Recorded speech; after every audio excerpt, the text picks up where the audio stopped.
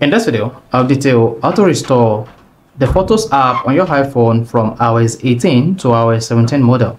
So if the iOS 18 Photos app is too complicated for you to manage, then you can restore this to the iOS 17 feature whereby all these categories will be removed. So that is all you're going to learn here. You'll be able to restore this version of the Photos app on your iPhone on iOS 18. So if I know this video, you found this really helpful and informative, please don't forget to like and subscribe.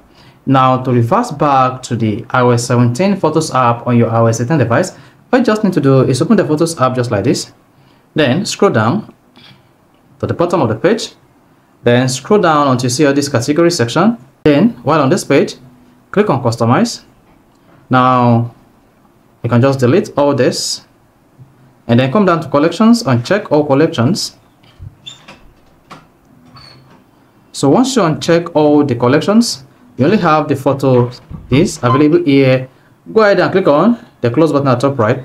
There you go. Then this is what you're going to have on your iphone on ios 18 so instead of having the ios 18 photos app you now have the ios 17 photos app set up on your device. So if you found this helpful and informative please don't forget to like and subscribe